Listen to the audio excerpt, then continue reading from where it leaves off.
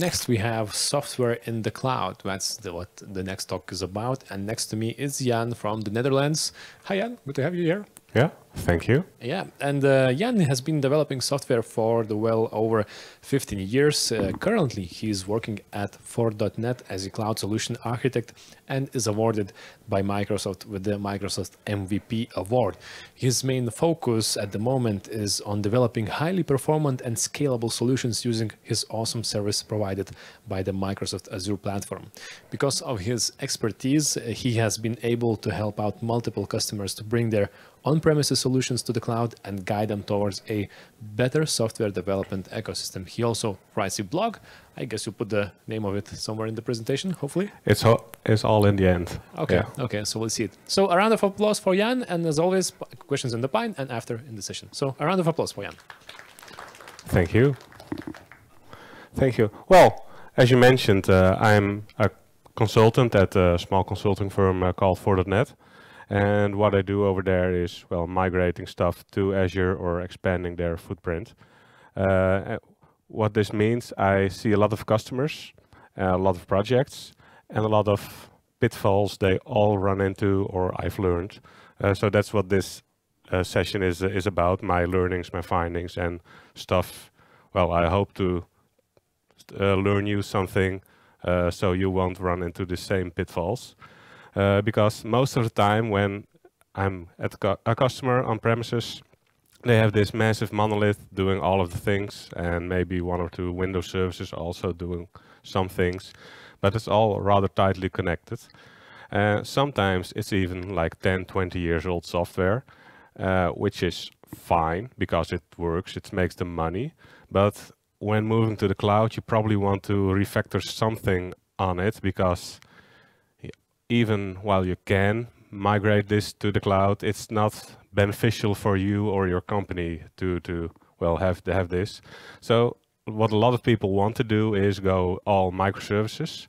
Uh, so a lot of well small services doing their own little thing and also being connected, like this stack of pebbles. And when you move one of those pebbles, well, you know what happens. Just like in a Jenga tower, it all falls down eventually, because most monoliths look a bit like this uh, this Jenga tower with lots of small components, and they all lean on each other. So this session, it's about my findings. It's about what I've learned there, and what I've learned. There is no silver bullet uh, to to uh, to uh, your solution or to any solution. Uh, everything has to be well uh, checked for your own customer, your own project, and your mileage may differ from mine. Uh, some people say we go all in Kubernetes because that's the future. I don't agree with that statement, but it might uh, work for you. Uh, so what we did in uh, in in the past, or a couple of projects ago, is uh, the first thing we wanted to do at this customer is have something in the cloud to start. So we started with a database, and the database was connected to some other repositories like Salesforce, SharePoint, SAP, you name it.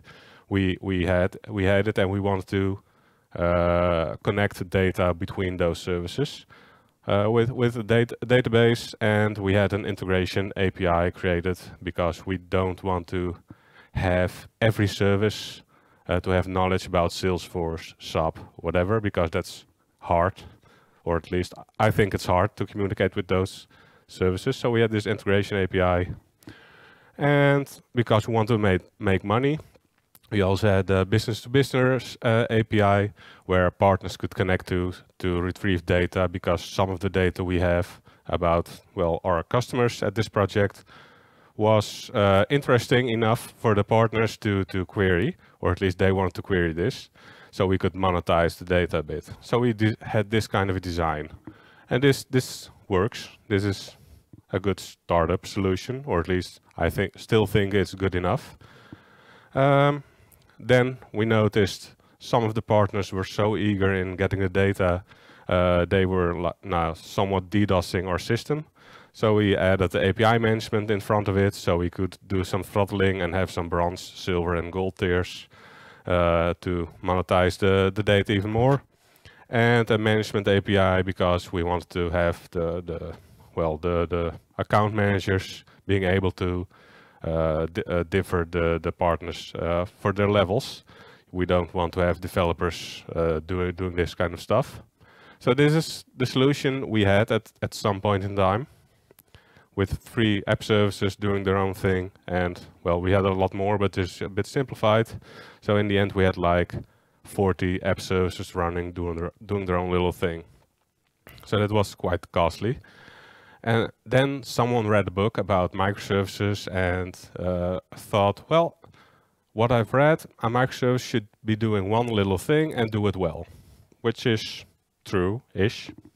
Uh, so uh, then a bank came by right after we uh, uh, read the microservices books and blogs and whatever, and we thought, well, uh, well, the bank wants us to import data, like like payment data, and they provided it on some kind of FTP server. We had to get it at some points in time, parse the data, because if you if you've ever worked in the payment sector, you know it's quite hard to get the data. It's encrypted multiple times with very strange algorithms. Uh, so we had to, to decrypt and parse it, and then uh, modify the data so, uh, to a usable usable model we could be using in our well in our ecosystem. So we thought that's three little things we need to do: retrieve data, parse it, and model it. So three different microservices because we had to share state and didn't want to send it all over the line on every request, we ha had one database. Let's say it, uh, it's the state database, uh, which we kept the state of, well, where the zip files were, uh, what the unencrypted data was, stuff like this. So it looked a bit like this. And this worked fine in development, in test, even in the acceptance environment.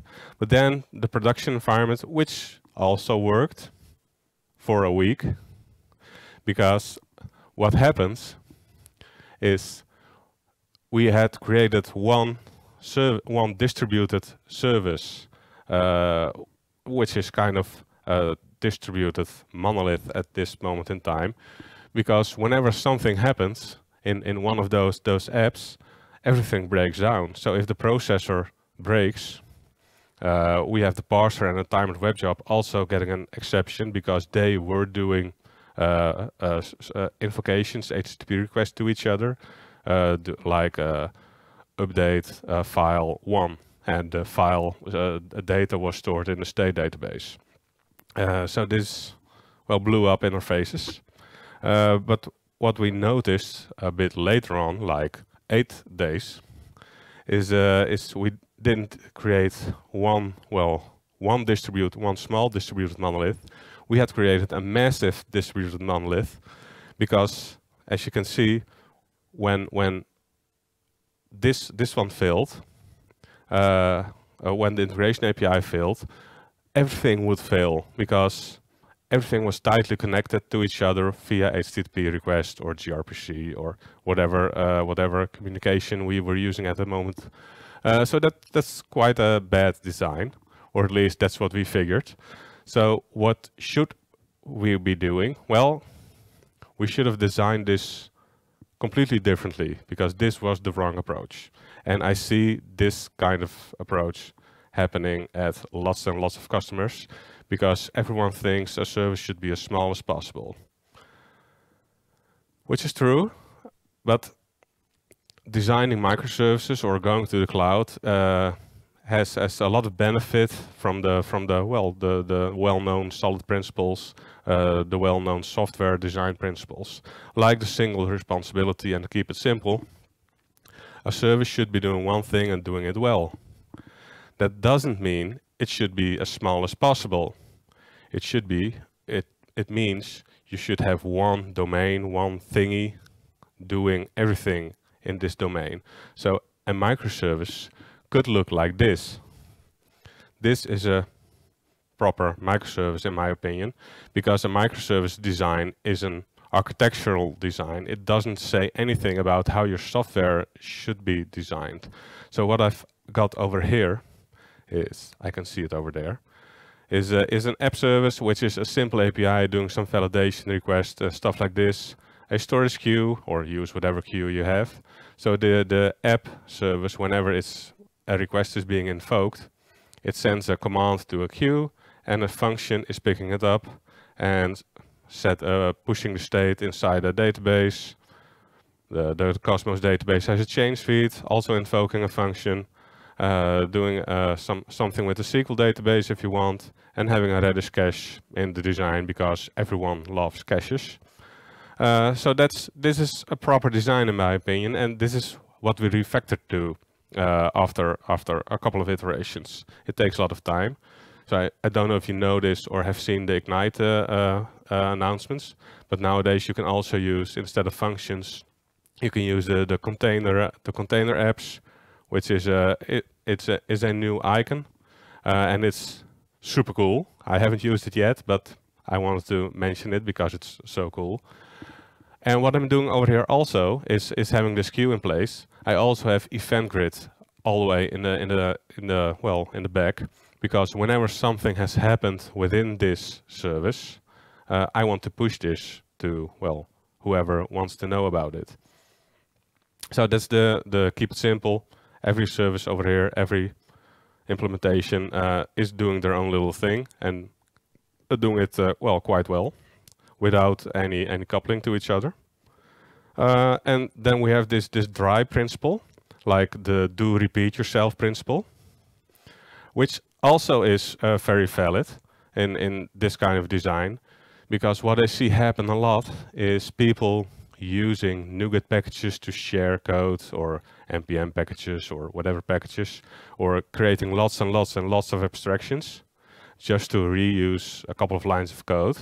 And I can see why we're doing this and why we're still doing this, but it's an anti-pattern in my opinion, or at least at this moment in time, because it's much easier just to have a small block of code or a massive block of code inside your flow, because then you have one file open with all logic. Sure, there are some nuances to this statement, but I think you should be repeating some business logic all over your services.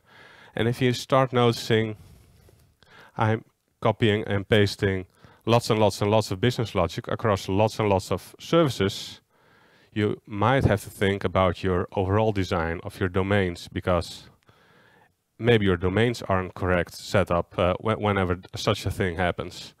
Uh, as, as Sandi Metz has, uh, Sandi Metz has uh, uh, once quoted on a conference, duplication is far cheaper than the wrong abstraction. This is what I noticed at some customers.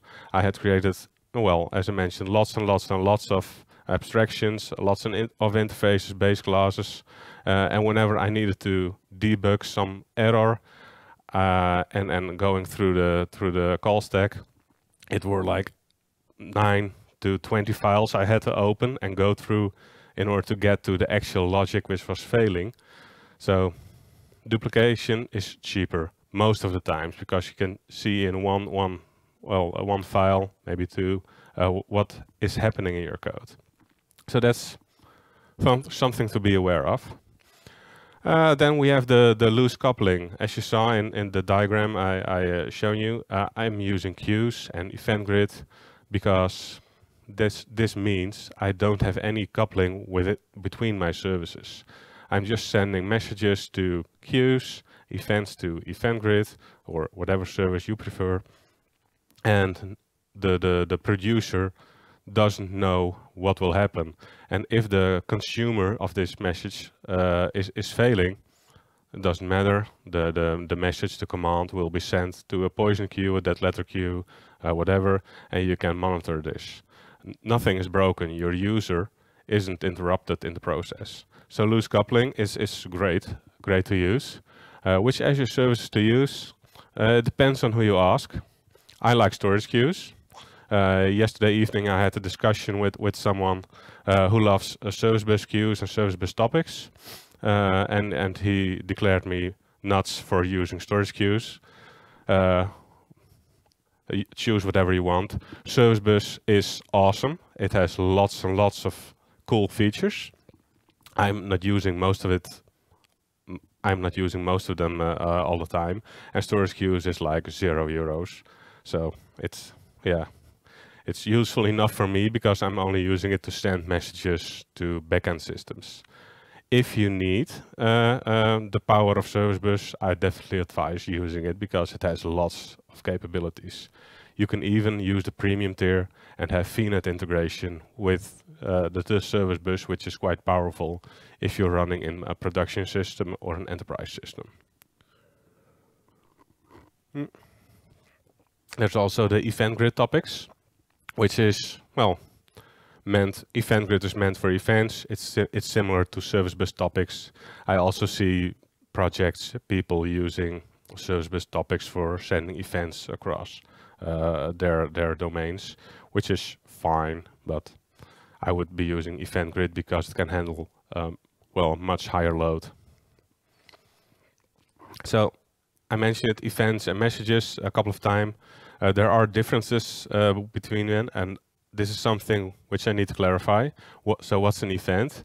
An event is, I, I, found this quote on the Microsoft docs, an event is something you send out in the open and you have no clue who or what is consuming this. Uh, and it should be as small as possible, because if you're sending very fat events, uh, and you change something in this event later on, you have no clue who is uh, who has uh, has a negative impact uh, for for this change. So it should be as small as possible. Uh, so in, in a message, a command, whatever you want to call it, it can be as fat as you want because it stays inside your domain. You want a user to be created, like a create user event. So for this uh, message, so for this message, you need a username, a password, uh, first name, last name, etc. Uh, so it can be as big as you want because your backend system needs all of this data. And it stays within your domain. So whenever you change it, you know what will break. So the content of a message, like I mentioned, it can be as fat as you want. Uh, all the data you need because you know uh, what's needed within your domain. Then we have the event, it should be as light as possible. I like uh, uh having events uh, being very granular, like user first name updated, something like that, instead of user updated, because that doesn't say anything about what has been updated about this user. Uh, and one service might be interested in the, the first name uh, has been updated, the other only wants to uh, know something about age of a user. So that, be very granular with this. This also means you only have to send identifiers or the, the actual, well, the age of a person or something like this. Uh, and well, this is uh, this is the design what I uh, fall back to nowadays about almost all the time. Having the API, having a queue, having a uh, function, and over uh, down at the bottom I have the SignalR service drawn because Azure Functions, I don't know if you know it, but Azure Functions have super cool triggers and bindings. And these bindings make sure you, it's rather easy to uh, interact with different services within Azure, like the SignalR service. Uh, you can just say, I want to send an event to SignalR and be done with it. No plumbing, no authentication nowadays, because the, the, the new libraries have been GA like one or two weeks ago, if I'm not mistaken, which means you can go all passwordless within Azure, uh, which is awesome. Uh, so only working with AAD uh, accounts. So this is uh, quite cool, sending um, events back to the client. So whenever I'm changing my first name, uh, I can get notified asynchronously uh, your username has been updated or your order has been processed. If I'm buying something on Amazon, uh, I guess they have a similar kind of design. So the, the website is sending the order on some kind of queue and sending back could be sending back a message to me in, in, the site like it has been processed, it will be delivered the next day. So all cool. Uh, yeah, this is something I created, a super cool animation. so I need to show this. It took me quite a long time to do this and yes, uh, the booking has been created. Now the booking is sent back to the, to the clients and uh, it's notified. But you can also use the same bindings or a different binding, but the same uh, stuff to communicate with Event Grid. So if your function has two output bindings, uh, one for SignalR and one for Event Grid, you can use the same messages or uh, different messages within one flow. You don't have to think about all the plumbing of doing stuff. Just add another binding and be done with it.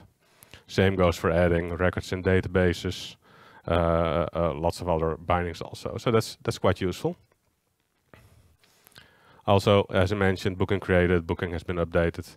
I'm not very happy with the booking updated because it doesn't tell me anything, but you get you get my point. So what are the good practices? As I mentioned, keeping them as light as possible, preferably just an identifier. Uh, at one at one project, we also did the old state and the new state, uh, sending it in within the uh, event, which was useful. Unless you have uh, uh, messages, events coming out of order uh, on the consumer, which is a hassle. So you have to think about this by sending some kind of e tag or, or version or whatever. Mm.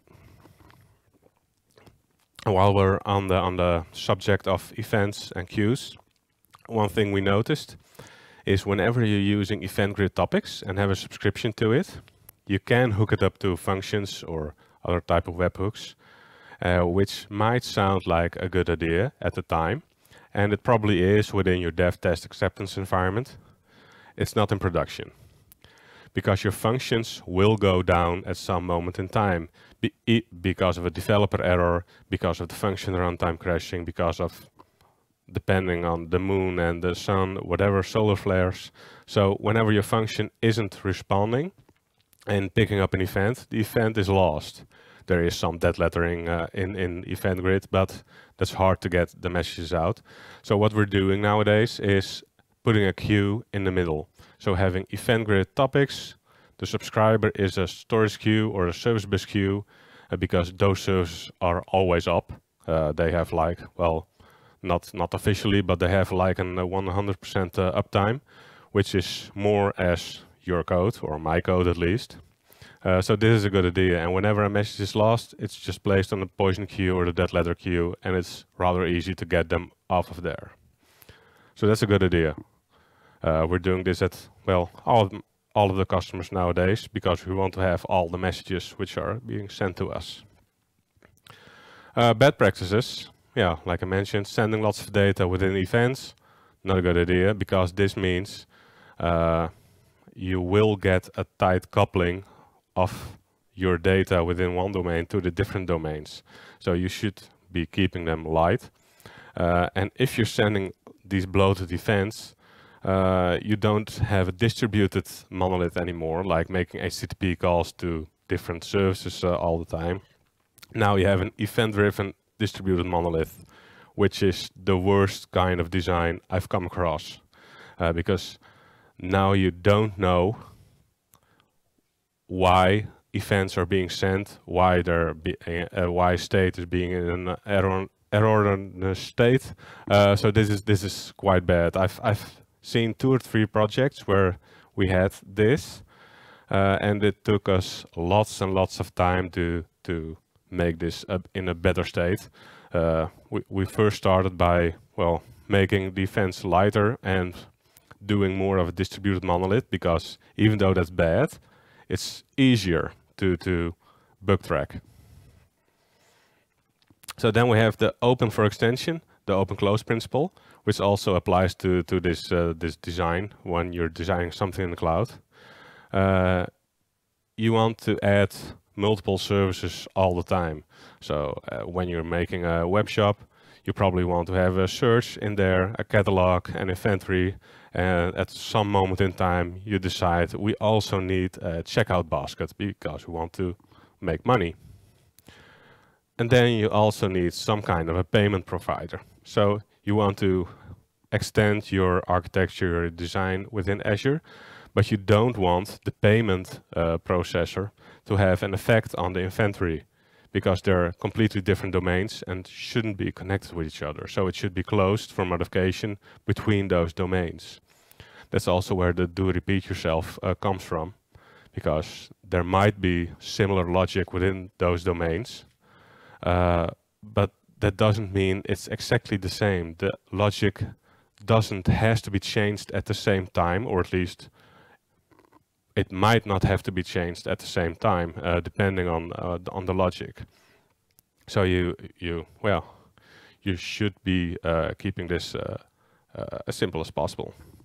So how to get there? Well, doing it in in the DevOpsy way, like like planning, coding, fixing, and you've probably all seen this this this this diagram lots and lots of time at lots and lots of conferences.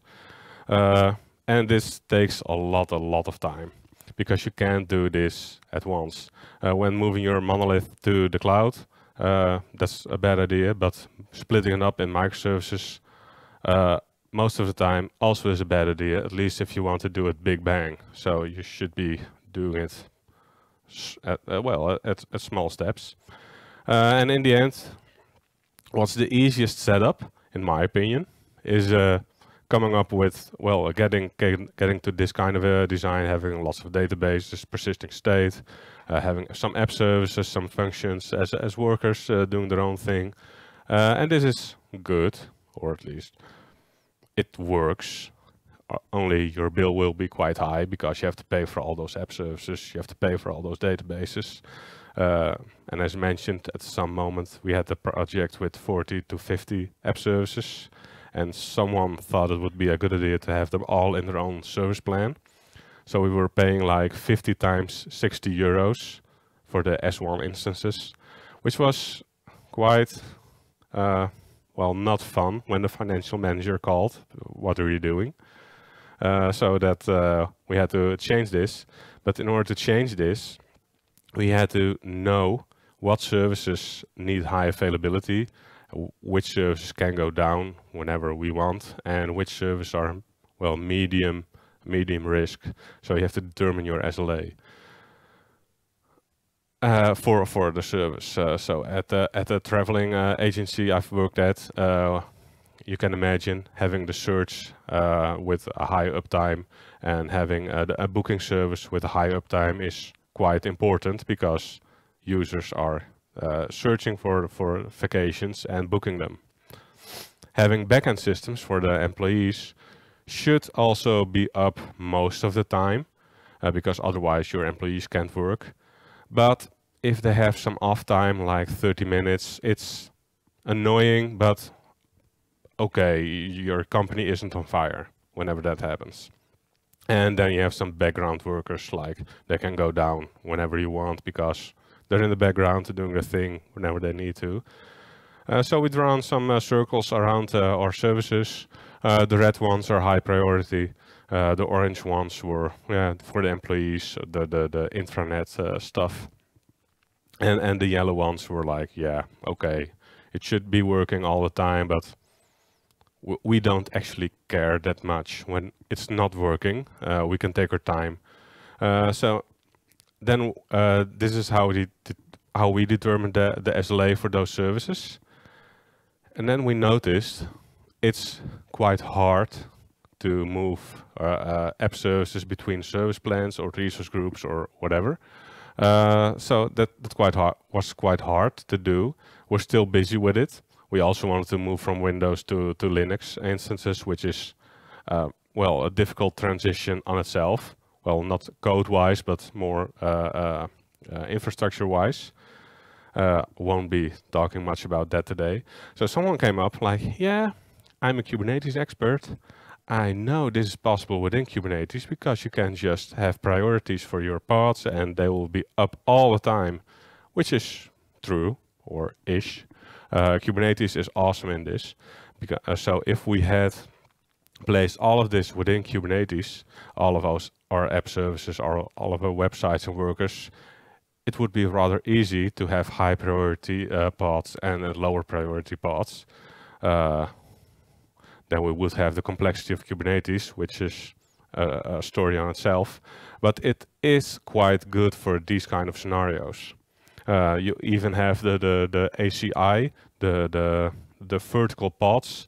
Uh, so uh, if you, the Azure container instances, You can specify them to have uh, nodes on demand or, or at least fast nodes on demand. So whenever you have a spike, an immediate spike in your, in your uh, traffic and your usage, an ACI can, instance can spin up and add some pods to it. And when the, the traffic is lowered, it can spin down also, which is faster compared to adding new nodes to the cluster. So this could be a solution, putting everything in a cluster. But as I mentioned, I'd like to keep things simple and use services what they're good at. So using solely Kubernetes isn't something I fancy doing. At the moment I'm on a project where we're doing everything within Kubernetes. Uh, and it works, but it's we have to do a lot of plumbing, a lot of stuff just to get things working. And if we would have been using app services or functions or logic apps or whatever, uh, the development would be uh, much easier for a lot of tasks uh, we're doing. So uh, yeah, just because you can do everything within Kubernetes or whatever uh, cluster uh, you're using, doesn't mean you should. I don't know if you, if any of you knows who has set this the first, so then I can update the slides. If you know, please please ping me later. I like to mix and match uh, stuff. I like to add, like I mentioned, add so, uh, use services what they're good at. So if I'm only use, uh, if I only need to push a message to some queue and pick it up and don't need any fancy other stuff, I'm using storage queues. If I need fancy uh, queuing mechanism, I'm using Service Bus because it's awesome. If I'm using, if I only need an API, use a, an, an app service. Don't create a whole cluster uh, Kubernetes cluster to do this. So what I like doing, or what I like doing nowadays, or want to experiment with is a, a better term, because I'm still at the Kubernetes uh, project, is come up with something like this. We have lots of workers at the moment in, in our uh, pods. And those workers are, uh, we have a lot of plumbing to uh, contact, uh, to, to listen to service bus queues, which is okay. But we could also do this, this processing within Azure Functions and use the bindings and the triggers available to us. So the Azure Functions team will make sure it works and we don't have to worry about do we need to open or close a socket? Uh, do we need to uh, peek a message or delete a message or whatever? It's, it's just being handled for you. Uh, so that's uh, something we're transitioning to now. And whenever this is done, which will take quite some time in, in this uh, project, we can do other cool stuff because that opens up the world to using even more services within Azure. Like something like this. Because if we, we also have a lot of sites and you have static sites uh, within Azure, uh, which is, well, faster compared to going all of through Nginx and Kubernetes and stuff like this. A static site is just some HTML which is being served, could also be served from a CDN. So we want to, or I want to add this to the mix for our sites. Then have an app gateway as an ingress controller for Kubernetes because it's cool. So now we don't have to use Nginx anymore as a gateway or security or, or uh, something like this. It's just being handled in the app gateway which is doing a lot of security stuff and can act as an ingress controller. Uh, and I don't know if you know this, but if you have Arc-enabled clusters within Azure, you can also run PaaS services within your cluster. It's not something I would advise doing on your first try, but it's possible. So even if you're running locally on premises or on Amazon or on Google or wherever you have Kubernetes installed, if you make it Arc enabled, you can use app services, functions, event grid, I think even service bus within your Kubernetes cluster by just adding those services uh, to, to your pods. So this is awesome because having app services uh, has a couple of benefits to just hosting up uh, a, a, new pod uh, with, with uh, port uh, 443 open or port 80, whatever you're exposing stuff with. And we're using a lot of uh, a lot of uh, SQL now, which is okay-ish, but we're also using SQL to store a lot of JSON, which is like, why aren't we using Cosmos DB? So that's also next steps. Uh, so using the service which is uh, logical to use uh, for well uh, whatever problem you're trying to solve. I know from the on-premises world, uh, you have people uh, who are working, or at least the projects I was at. Yeah, we're doing this like 20 years now, like having IIS or whatever web server, publishing the site to there and having a SQL server and no messaging or whatever because that's hard. It's hard to maintain. It's hard to uh, understand stuff like this. Within the cloud, it's just a checkbox or, or just uh, add new resource or whatever. You should be using infrastructure as code though, but it's easier to set up and you don't have to be an expert in maintaining the stuff because that's something the Microsoft uh, teams are doing. So adding all of those services to the mix will make your life easier as a developer, as an ops person, and even as a manager later on. Sure, you need to do, you need to know some stuff uh, of what's happening, but uh, it's it's this is looks complex and overwhelming at first, but it's quite all right because you grow into this. It doesn't have to be this way at day one. You can do this on year five or maybe even later whenever it makes sense. So, as I mentioned, this is a lot of work. It will take you a lot of time to, to get there, uh, but it's something I think you should be doing when moving to the cloud and rather sooner than later. So just moving your big exe file or whatever file to, to the cloud and run it over there will probably work but you will get a lot of uh, downsides from it uh, after a couple of days, weeks, maybe months if you're lucky. So uh, yeah, uh, splitting it up in more cloud native solutions is a better approach. It will take you a lot of time. So that's it uh, for, for me today. Uh, if you have any further questions, feel free to reach out to me later on. here are some, some links, some details of me uh, the GitHub repo. I'm on Twitter. If you have a long question and I'm not here anymore, you can also email me. Most of the time I'm quite quite fast to respond, unless I'm at the conference. Uh, and if you want to read more on, on Azure stuff, uh, feel free to check out uh, my blog. Thank you all. Thank you, Jan. Thank you, Jan. Um, I'm watching Pine. Uh, there's looks like no questions. Still, you can write those down if you if you want to. Uh, audience online. Uh, I'll see it. When I, oh, we have some. So Viktoras is asking. You talked about putting a storage queue in between Event Grid and Azure Function. How does it help? Is it because Azure Function checkpoints irrespective of the fact that an exception has occurred, is there a way to replay messages from the storage queue? Yes. So the question is, why the heck are you putting a, a queue in between event grid and, and your function? Because your function has to do all the stuff. That's true. And uh, like I mentioned, when your function is crashing for some reason, it might be my error because I've uh, deployed a, a, a, wrong function, uh, some dependency injection uh, uh, registration missing or whatever this function is down. So whenever event grid tries to send a message to it, it will fail. It will get an uh, it will get an error, and it will retry a couple of times. I think by default five times within 24 hours. Uh, but if it's in a weekend and you don't have monitoring on it, it will be put on a dead letter on a dead letter well storage account if you're lucky if you have configured this. Uh, and that's what we found out the hard way. Like in a weekend, there were like 7,000 messages in some storage queue and we had a hard time picking them out.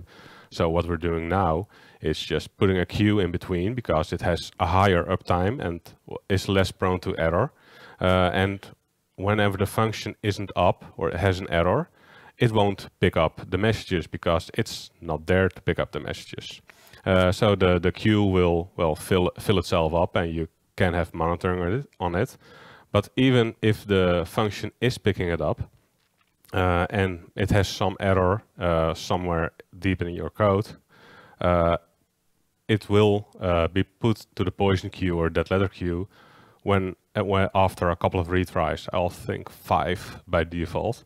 Uh, and it's easier to replay them from there because uh, if you're using like Visual Studio, you can just uh, cut and paste them at different uh, uh, queues. Uh, you also have some monitoring tools for this, so it's, it's easier for maintaining. So it's it's a bit infrastructure overhead, but on the operating side, it's easier. So thank you very much, uh, Viktoras, for a great question. Do we have any questions here in the audience? Maybe. I'm, I'm coming closer to see you. Oh yeah, yeah, I see it. Uh, can you say that out loud? Can you say it out loud? The question? Yeah. So actually, I was- because you uh, you presented uh, uh, H2 offer for uh, queues and uh, topics, but you didn't mention event hubs uh, at all. Is there any reason for that? That, that you uh, prefer to use event grid or something else than event hub? Yeah, yeah. So the question is, you mentioned a couple of messaging uh, services uh, within Azure, but you didn't mention uh, Event Hub and uh, IoT Hub for that matter, uh, and that's because uh, I think Event or I think Event Grid is is actually meant for sending events. And and the queues and like storage queues and subscription service bus stuff is is meant for sending messages and Event Hub can uh, can do the, the event grid stuff or, or the, the, the sending messages to, to each other.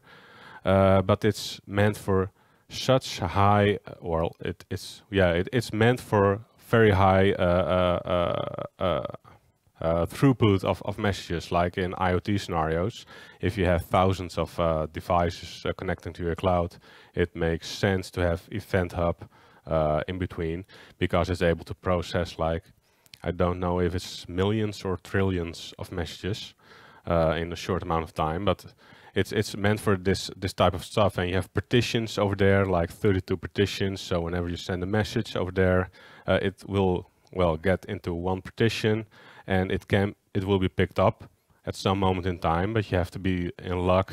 It will be uh, in the in the right order or uh, whatever. So there are uh, things you can do to make it work.